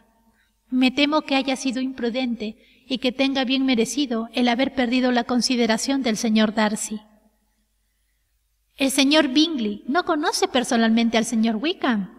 No, no lo había visto nunca antes del otro día en Meriton. De modo que lo que sabe es lo que el señor Darcy le ha contado. Estoy satisfecha. ¿Y qué dice de la rectoría? No recuerda exactamente cómo fue, aunque se le ha oído contar a su amigo más de una vez, pero cree que le fue legada solo condicionalmente. No pongo en duda la sinceridad del señor Bingley, dijo Elizabeth acaloradamente, pero perdona que no me convenzan sus afirmaciones. Hace muy bien en defender a su amigo, pero como desconoce algunas partes de la historia y lo único que sabe se lo ha dicho él, seguiré pensando de los dos caballeros lo mismo que pensaba antes. Dicho esto, ambas hermanas iniciaron otra conversación mucho más grata para las dos. Elizabeth oyó encantada las felices, aunque modestas esperanzas que Jane abrigaba respecto a Bingley, y le dijo todo lo que pudo para alentar su confianza. Al unírseles el señor Bingley, Elizabeth se retiró y se fue a hablar con la señorita Lucas, que le preguntó si le había agradado su última pareja. Elizabeth casi no tuvo tiempo para contestar, porque allí se les presentó Collins, diciéndoles entusiasmado que había tenido la suerte de hacer un descubrimiento importantísimo. He sabido, dijo, por una singular casualidad, que está en este salón un pariente cercano de mi protectora. He tenido el gusto de oír cómo el mismo caballero mencionaba a la dama que hace los honores de esta casa los nombres de su prima, la señorita de Borg, y de la madre de esta, Lady Catherine. ¿De qué modo tan maravilloso ocurren estas cosas? ¿Quién me iba a decir que habría de encontrar a un sobrino de Lady Catherine de Borg en esta reunión? Me alegro mucho de haber hecho este descubrimiento a tiempo para poder presentarle mis respetos, cosa que voy a hacer ahora mismo. Confío en que me perdone por no haberlo hecho antes, pero mi total desconocimiento de ese parentesco me disculpa. ¿No se irá a presentar usted mismo al señor Darcy? Claro que sí. Le pediré que me excuse por no haberlo hecho antes. ¿No ve que es el sobrino de Lady Catherine? podré comunicarle que su señoría se encontraba muy bien la última vez que la vi. Elizabeth intentó disuadirle para que no hiciese semejante cosa, asegurándole que el señor Darcy consideraría el que se dirigiese a él sin previa presentación como una impertinencia y un atrevimiento, más que como un cumplido a su tía, que no había ninguna necesidad de darse a conocer, y si la hubiese, le correspondería al señor Darcy, por la superioridad de su rango, tomar la iniciativa. Collins la escuchó decidido a seguir sus propios impulsos y, cuando Elizabeth cesó de hablar, le contestó Mi querida señorita Elizabeth, tengo la mejor opinión del mundo de su excelente criterio en toda clase de asuntos, como corresponde a su inteligencia. Pero permítame que le diga que debe haber una gran diferencia entre las fórmulas de cortesía establecidas para los laicos y las aceptadas para los clérigos. Déjeme que le advierta que el oficio de clérigo es, en cuanto a dignidad, equivalente al más alto rango del reino, con tal que los que lo ejercen se comporten con la humildad conveniente. De modo que permítame que siga los dictados de mi conciencia que en esta ocasión me llevan a realizar lo que considero un deber. Dispense, pues, que no siga sus consejos, que en todo lo demás me servirán constantemente de guía pero creo que en este caso estoy más capacitado por mi educación y mi estudio habitual que una joven como usted para decidir lo que es debido. Collins hizo una reverencia y se alejó para ir a saludar a Darcy. Elizabeth no le perdió de vista para ver la reacción de Darcy, cuyo asombro por haber sido abordado de semejante manera fue evidente.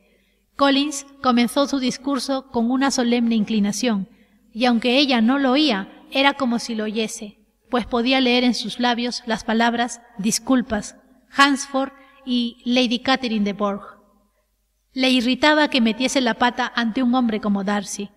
Este le observaba sin reprimir su asombro, y cuando Collins le dejó hablar, le contestó con distante cortesía.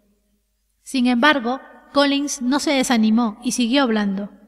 El desprecio de Darcy crecía con la duración de su segundo discurso, y al final solo hizo una leve inclinación y se fue a otro sitio. Collins volvió entonces hacia Elizabeth. Le aseguro, le dijo, que no tengo motivo para estar descontento de la acogida que el señor Darcy me ha dispensado. Mi atención le ha complacido en extremo y me ha contestado con la mayor finura, haciéndome incluso el honor de manifestar que estaba tan convencido de la buena elección de Lady Catherine que daba por descontado que jamás otorgaría una merced sin que fuese merecida. Verdaderamente fue una frase muy hermosa. En resumen, estoy muy contento de él. Elizabeth, que no tenía el menor interés de seguir hablando con Collins, dedicó su atención casi por entero a su hermana y a Bingley. La multitud de agradables pensamientos a que sus observaciones dieron lugar la hicieron casi tan feliz como Jane. La imaginó instalada en aquella gran casa, con toda la felicidad que un matrimonio por verdadero amor puede proporcionar, y se sintió tan dichosa que creyó incluso que las dos hermanas de Bingley podrían llegar a gustarle. No le costó mucho adivinar que los pensamientos de su madre seguían los mismos derroteros, y decidió no arriesgarse a acercarse a ella para no escuchar sus comentarios. Desgraciadamente, a la hora de cenar les tocó sentarse una junto a la otra.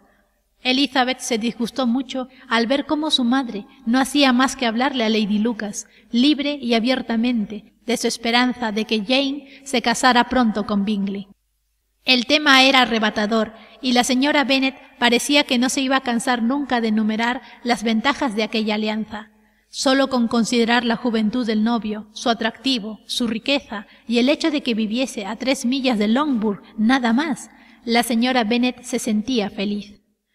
Pero además había que tener en cuenta lo encantadas que estaban con Jane las dos hermanas de Bingley, quienes, sin duda, se alegrarían de la unión tanto como ella misma. Por otra parte, el matrimonio de Jane con alguien de tanta categoría era muy prometedor para sus hijas menores, que tendrían así más oportunidades de encontrarse con hombres ricos.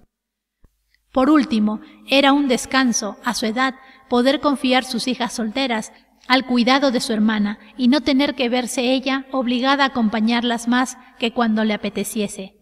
No había más remedio que tomarse esta circunstancia como un motivo de satisfacción, pues en tales casos así lo exige la etiqueta.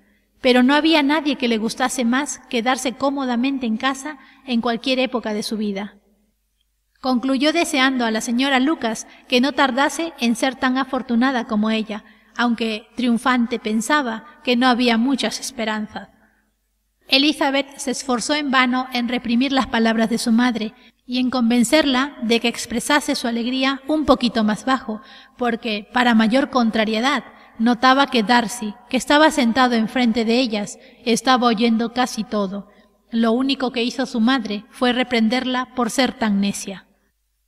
¿Qué significa el señor Darcy para mí? Dime, ¿por qué habría de tenerle miedo? No le debemos ninguna atención especial como para sentirnos obligadas a no decir nada que pueda molestarle. Por el amor de Dios, mamá, habla más bajo. ¿Qué ganas con ofender al señor Darcy? Lo único que conseguirás, si lo haces, es quedar mal con su amigo. Pero nada de lo que dijo surtió efecto. La madre siguió exponiendo su parecer con el mismo desenfado. Elizabeth cada vez se ponía más colorada por la vergüenza y el disgusto que estaba pasando. No podía dejar de mirar a Darcy con frecuencia, aunque cada mirada la convencía más de lo que se estaba temiendo. Darcy rara vez fijaba sus ojos en la madre, pero Elizabeth no dudaba de que su atención estaba pendiente de lo que decían. La expresión de su cara iba gradualmente del desprecio y la indignación a una imperturbable seriedad. Sin embargo, llegó un momento en que la señora Bennet ya no tuvo nada más que decir y Lady Lucas, que había estado mucho tiempo bostezando ante la repetición de delicias en las que no veía la posibilidad de participar, se entregó a los placeres del pollo y del jamón. Elizabeth respiró. Pero este intervalo de tranquilidad no duró mucho. Después de la cena se habló de cantar y tuvo que pasar por el mal rato de ver que Mary, tras muy pocas súplicas, se disponía a obsequiar a los presentes con su canto. Con miradas significativas y silenciosos ruegos, Elizabeth trató de impedir aquella muestra de condescendencia, pero fue inútil. Mary no podía entender lo que quería decir. Semejante oportunidad de demostrar su talento la embelezaba y empezó su canción. Elizabeth no dejaba de mirarla con una penosa sensación. Observaba el desarrollo del concierto con una impaciencia que no fue recompensada al final, pues Mary, al recibir entre las manifestaciones de gratitud de su auditorio una leve insinuación para que continuase, después de una pausa de un minuto, empezó otra canción. Las facultades de Mary no eran lo más a propósito para semejante exhibición. Tenía poca voz y un estilo afectado. Elizabeth pasó una verdadera agonía. Miró a Jane para ver cómo lo soportaba ella, pero estaba hablando tranquilamente con Bingley. Miró a las hermanas de éste y vio que se hacían señas de burla entre ellas, y a Darcy, que seguía serio e imperturbable. Miró por último a su padre implorando su intervención para que Mary no se pasase toda la noche cantando. Él cogió la indirecta y cuando Mary terminó su segunda canción, dijo en voz alta Niña, ya basta. Has estado muy bien. Nos has deleitado ya bastante. Ahora deja que se luzcan las otras señoritas. Mary, aunque fingió que no oía, se quedó un poco desconcertada. A Elizabeth le dio pena de ella y sintió que su padre hubiese dicho aquello. Se dio cuenta de que por su inquietud no había obrado nada bien. Ahora les tocaba cantar a otros. Si yo, dijo entonces Collins, tuviera la suerte de ser apto para el canto, me gustaría mucho obsequiar a la concurrencia con una romanza. Considero que la música es una distracción inocente y completamente compatible con la profesión de clérigo. No quiero decir por esto que esté bien el consagrar demasiado tiempo a la música, pues hay, desde luego, otras cosas que atender. El rector de una parroquia tiene mucho trabajo, en primer lugar, tiene que hacer un ajuste de los diezmos que resulte beneficioso para él y no sea oneroso para su patrón. Ha de escribir los sermones y el tiempo que le queda nunca es bastante para los deberes de la parroquia y para el cuidado y mejora de sus feligreses, cuyas vidas tiene la obligación de hacer lo más llevaderas posible. Y estimo como cosa de mucha importancia que sea atento y conciliador con todo el mundo, y en especial con aquellos a quienes debe su cargo Considero que esto es indispensable y no puedo tener en buen concepto al hombre que desperdiciara la ocasión de presentar sus respetos a cualquiera que esté emparentado con la familia de sus bienhechores. Y con una reverencia al señor Darcy concluyó su discurso, pronunciado en voz tan alta que lo oyó la mitad del salón. Muchos se quedaron mirándolo fijamente, muchos sonrieron, pero nadie se había divertido tanto como el señor Bennet, mientras que su esposa Alabó en serio a Collins por haber hablado con tanta sensatez y le comentó en un cuchicheo a Lady Lucas que era muy buena persona y extremadamente listo. A Elizabeth le parecía que si su familia se hubiese puesto de acuerdo para hacer el ridículo en todo lo posible aquella noche, no les habría salido mejor ni habrían obtenido tanto éxito. Y se alegraba mucho de que Bingley y su hermana no se hubiesen enterado de la mayor parte del espectáculo y de que Bingley no fuese de esa clase de personas que les importa o les molesta la locura de la que hubiese sido testigo. Ya era bastante desgracia que las hermanas y Darcy hubiesen tenido la oportunidad de burlarse de su familia, y no sabía qué le resultaba más intolerable, si el silencioso desprecio de Darcy o las insolentes sonrisitas de las damas. El resto de la noche transcurrió para ella sin el mayor interés. Collins la sacó de quicio con su empeño en no separarse de ella.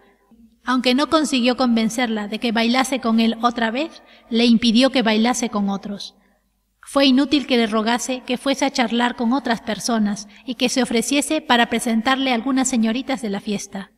Collins aseguró que el bailar le tenía sin cuidado y que su principal deseo era hacerse agradable a sus ojos con delicadas atenciones, por lo que había decidido estar a su lado toda la noche. No había nada que discutir ante tal proyecto. Su amiga, la señorita Lucas, fue la única que la consoló, sentándose a su lado con frecuencia y desviando hacia ella la conversación de Collins. Por lo menos así se vio libre de Darcy, que, aunque a veces se hallaba a poca distancia de ellos, completamente desocupado, no se acercó a hablarles. Elizabeth lo atribuyó al resultado de sus alusiones a Wickham y se alegró de ello. La familia de Longwood fue la última en marcharse. La señora Bennet se las arregló para que tuviesen que esperar por los carruajes hasta un cuarto de hora después de haberse ido todo el mundo, lo cual les permitió darse cuenta de las ganas que tenían algunos miembros de la familia Bingley de que desapareciesen. La señora Hars y su hermana apenas abrieron la boca para otra cosa que para quejarse de cansancio. Se les notaba impacientes por quedarse solas en la casa. Rechazaron todos los intentos de conversación de la señora Bennet y la animación decayó, sin que pudieran elevarla los largos discursos de Collins felicitando a Bingley y a sus hermanas por la elegancia de la fiesta y por la hospitalidad y fineza con que habían tratado a sus invitados. Darcy no dijo absolutamente nada. El señor Bennet, tan callado como él, disfrutaba de la escena. Bingley y Jane estaban juntos y un poco separados de los demás, hablando el uno con el otro. Elizabeth guardó el mismo silencio que la señora Hart y la señorita Bingley. Incluso Lidia estaba demasiado agotada para poder decir más que Dios mío, qué cansada estoy en medio de grandes bostezos. Cuando por fin se levantaron para despedirse, la señorita Bennet insistió con mucha cortesía en su deseo de ver pronto en Longbourn a toda la familia. Se dirigió especialmente a Bingley para manifestarle que se verían muy honrados si un día iba a su casa a almorzar con ellos en familia, sin la etiqueta de una invitación formal. Bingley se lo agradeció encantado y se comprometió en el acto a aprovechar la primera oportunidad que se le presentase para visitarles, a su regreso de Londres, a donde tenía que ir al día siguiente, aunque no tardaría en estar de vuelta. La señora Bennet no cabía en sí de gusto, y salió de la casa convencida de que contando el tiempo necesario para los preparativos de la celebración, compra de nuevos coches y trajes de boda, iba a ver a su hija instalada en Netherfield dentro de tres o cuatro meses. Con la misma certeza y con considerable, aunque no igual agrado, esperaba tener pronto otra hija casada con Collins. Elizabeth era a la que menos quería de todas sus hijas, y si bien el pretendiente y la boda eran más que suficientes para ella, quedaban eclipsados por Bingley y por Netherfield. Capítulo 19 Al día siguiente hubo otro acontecimiento en Longbourn. Collins se declaró formalmente. Resolvió hacerlo sin pérdida de tiempo, pues su permiso expiraba el próximo sábado, y como tenía plena confianza en el éxito, emprendió la tarea de modo metódico y con todas las formalidades que consideraba de rigor en tales casos. Poco después del desayuno, encontró juntas a la señora Bennet, a Elizabeth y a una de las hijas menores, y se dirigió a la madre con estas palabras. Puedo esperar, señora, dado su interés por su bella hija Elizabeth, que se me concede el honor de una entrevista privada con ella en el transcurso de esta misma mañana? Antes de que Elizabeth hubiese tenido tiempo de nada más que de ponerse roja por la sorpresa, la señora Bennet contestó instantáneamente. Oh, querido, no faltaba más. Estoy seguro de que Elizabeth estará encantada y de que no tendrá ningún inconveniente. Ven, Kitty, te necesito arriba. Y recogiendo su labor, se apresuró a dejarlos solos. Elizabeth la llamó diciendo Mamá, querida, no te vayas. Te lo ruego, no te vayas. El señor Collins me disculpará, pero no tiene nada que decirme que no pueda oír todo el mundo. Soy yo la que me voy.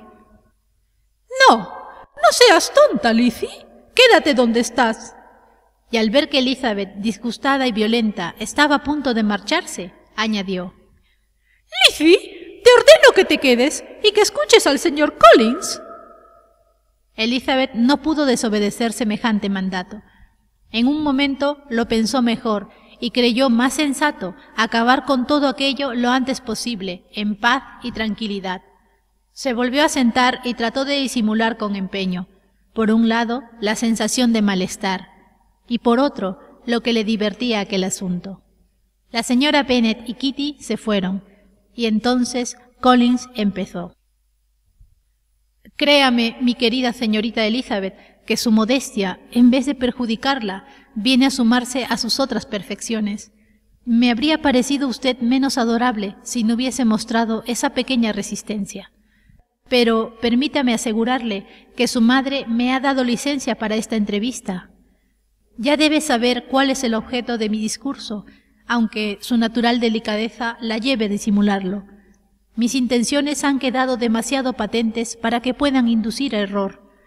Casi en el momento en que pisé esta casa, la elegí a usted para futura compañera de mi vida.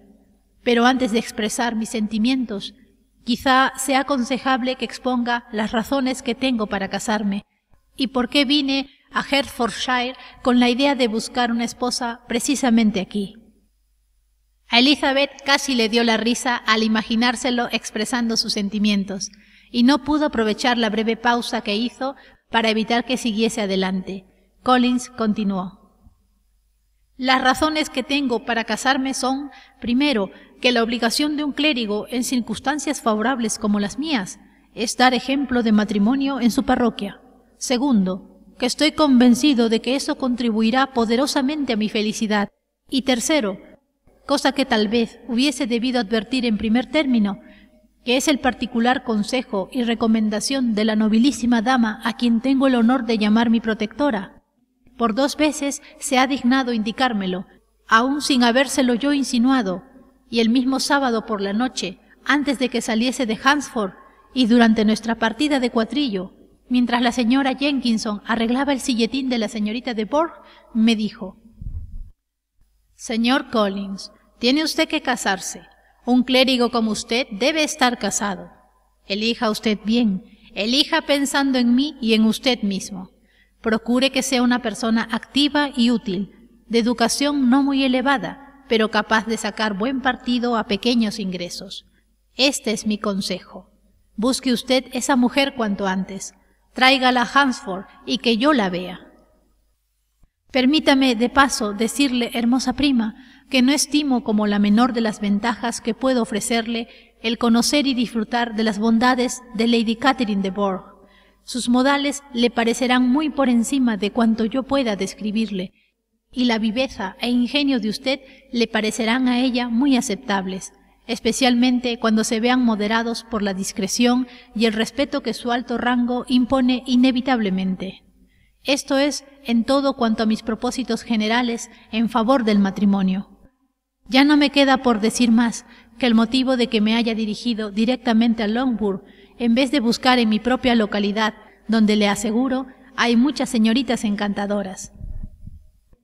Pero es el caso que siendo como soy el heredero de Longbourn a la muerte de su honorable padre, que ojalá viva muchos años, no estaría satisfecho si no eligiese esposa entre sus hijas, para atenuar en todo lo posible la pérdida que sufrirán al sobrevenir tan triste suceso que, como ya le he dicho, deseo que no ocurra hasta dentro de muchos años.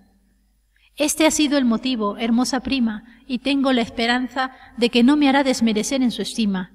Y ahora ya no me queda más que expresarle, con las más enfáticas palabras, la fuerza de mi afecto. En lo relativo a su dote, me es en absoluto indiferente, y no le he de pedirle a su padre nada que yo sepa que no pueda cumplir, de modo que no tendrá usted que aportar más que las mil libras al cuatro por ciento que le tocarán a la muerte de su madre. Pero no seré exigente, y puede usted tener la certeza de que ningún reproche interesado saldrá de mis labios en cuanto estemos casados. Era absolutamente necesario interrumpirle de inmediato. Va usted demasiado deprisa, exclamó Elizabeth. Olvida que no le he contestado. Déjeme que lo haga sin más rodeos. Le agradezco su atención y el honor que su proposición significa, pero no puedo menos que rechazarla.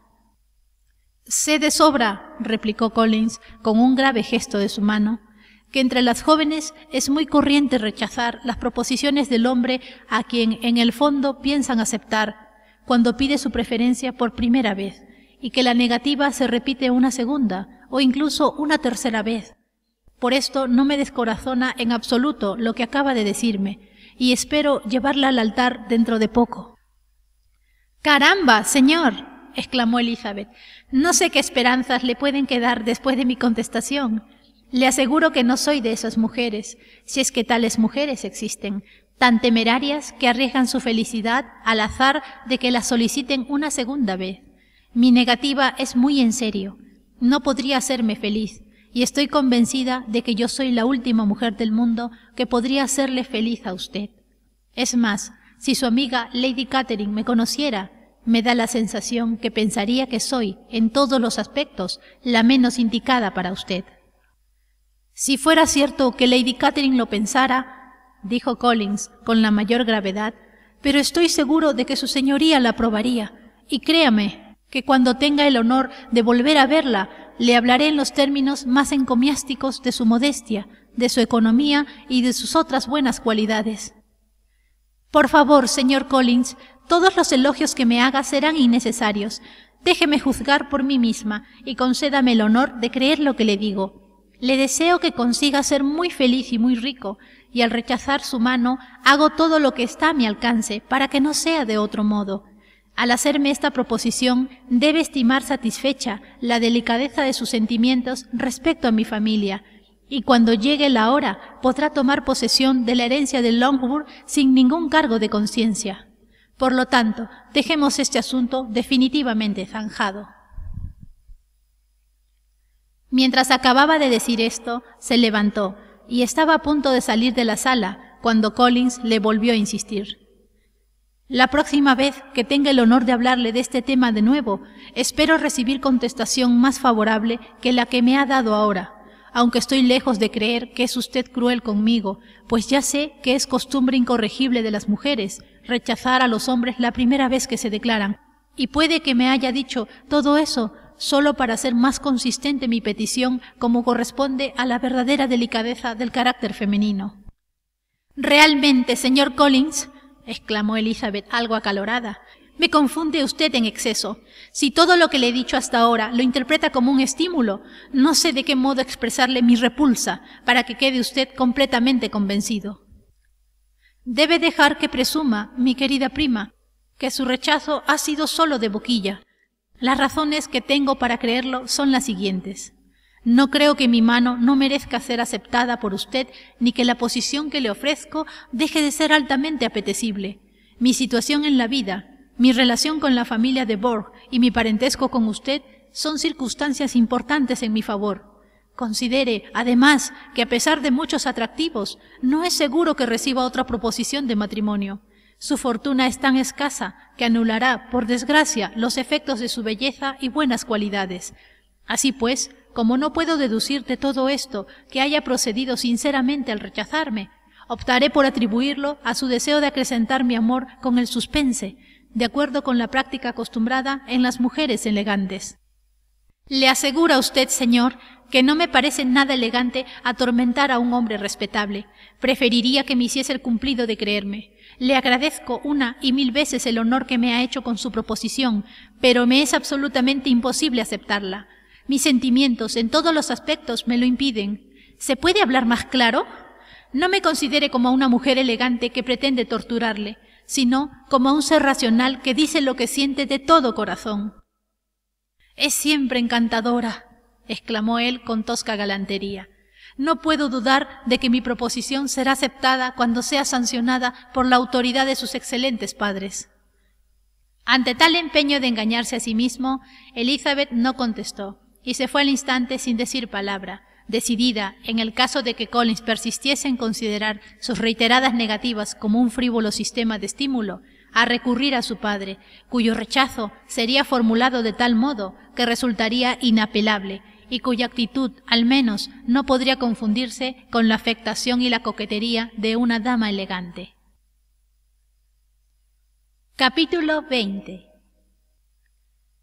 A Collins no lo dejaron mucho tiempo meditar en silencio el éxito de su amor, porque la señora Bennet, que se había quedado en el vestíbulo esperando el final de la conversación, En cuanto vio que Elizabeth abría la puerta y se dirigía con paso veloz a la escalera, entró en el comedor y felicitó a Collins, congratulándose por el venturoso proyecto de la cercana unión.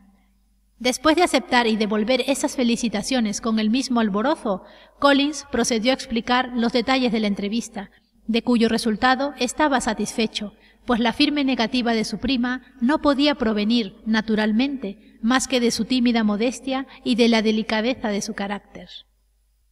Pero sus noticias sobresaltaron a la señora Bennet. También ella hubiese querido creer que su hija había tratado únicamente de animar a Collins a rechazar sus proposiciones, pero no se atrevía a admitirlo, y así se lo manifestó a Collins. Lo importante, añadió, es que Lizzie entra en razón. Hablaré personalmente con ella de este asunto. Es una chica muy terca y muy loca, y no sabe lo que le conviene, pero ya se lo haré saber yo. Perdóneme que la interrumpa, exclamó Collins, pero si en realidad es terca y loca, no sé si, en conjunto, es una esposa deseable para un hombre en mi situación, que naturalmente busca felicidad en el matrimonio. Por consiguiente, si insiste en rechazar mi petición, ¿acaso sea mejor no forzarla a que me acepte? Porque si tiene esos defectos, no contribuiría mucho que digamos a mi ventura. Me ha entendido mal, dijo la señora Bennet alarmada. Lizzie es terca solo en estos asuntos. En todo lo demás es la muchacha más razonable del mundo. Acudiré directamente al señor Bennet y no dudo de que pronto nos habremos puesto de acuerdo con ella.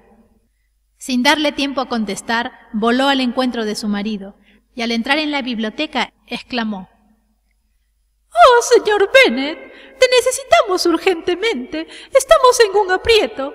Es preciso que vayas y convenzas a Elizabeth de que se case con Collins, pues ella ha jurado que no lo hará. Y si no te das prisa, Collins cambiará de idea y ya no la querrá.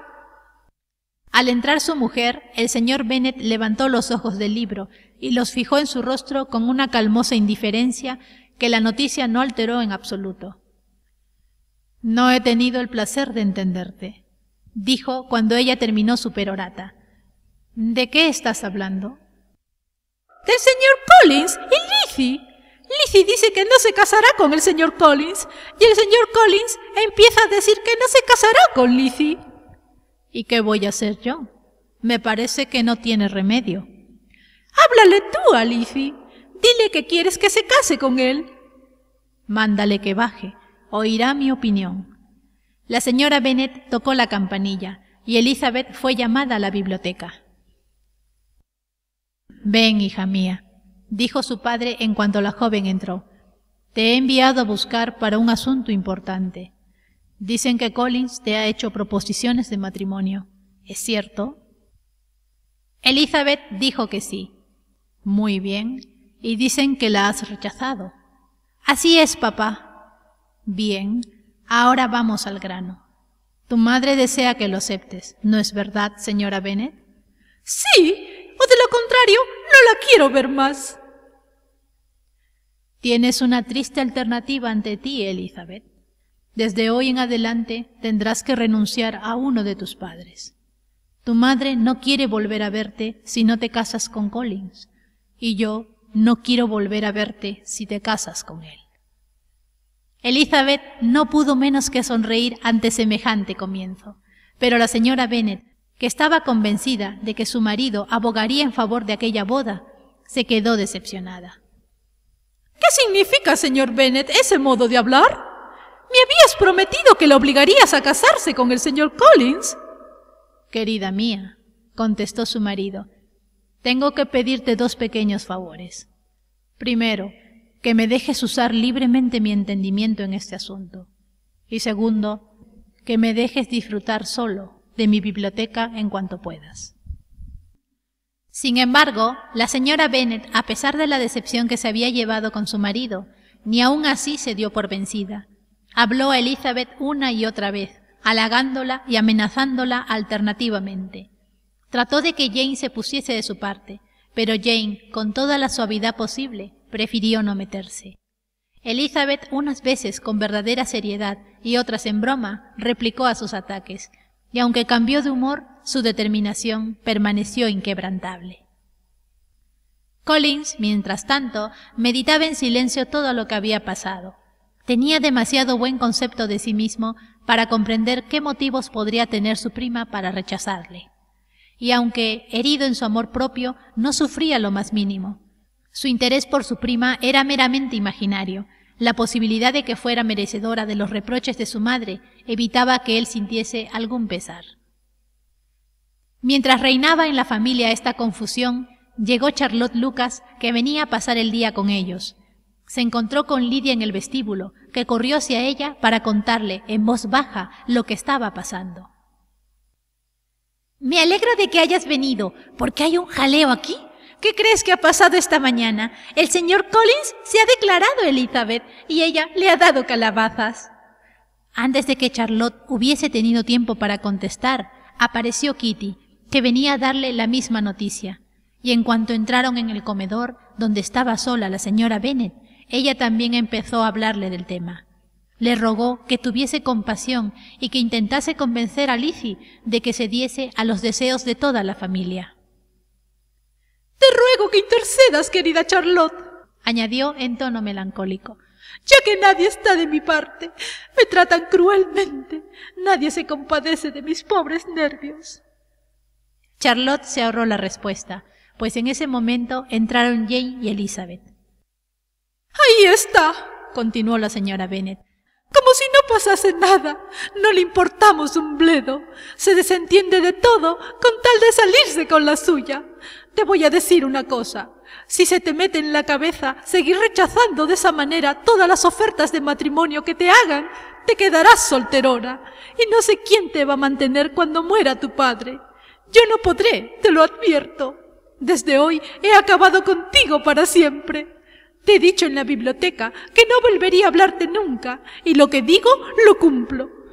No le encuentro el gusto hablar con hijas desobedientes, ni con nadie. Las personas que como yo sufrimos de los nervios no somos aficionadas a la charla. Nadie sabe lo que sufro, pero pasa siempre lo mismo. A los que no se quejan, nadie les compadece. Las hijas escucharon en silencio los lamentos de su madre. Sabían que si intentaban hacerla razonar o calmarla, solo conseguirían irritarla más. De modo que siguió hablando sin que nadie la interrumpiera, hasta que entró Collins con aire más solemne que de costumbre. Al verle, la señora Bennet dijo a las muchachas Ahora os pido que os calléis la boca y nos dejéis al señor Collins y a mí para que podamos hablar un rato. Elizabeth salió en silencio del cuarto. Jane y Kitty la siguieron, pero Lidia no se movió, decidida a escuchar todo lo que pudiera. Charlotte, detenida por la cortesía del señor Collins, cuyas preguntas acerca de ella y de su familia se sucedían sin interrupción, y también un poco por la curiosidad, se limitó a acercarse a la ventana fingiendo no escuchar. Con voz triste, la señora Bennet empezó así su conversación. Oh, señor Collins.